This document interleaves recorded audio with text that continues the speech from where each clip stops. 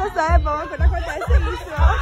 Não dá risada não, que alguém poderia ter se machucado. A minha mãe tá lá dentro. Sim, ele poderia ter se machucado.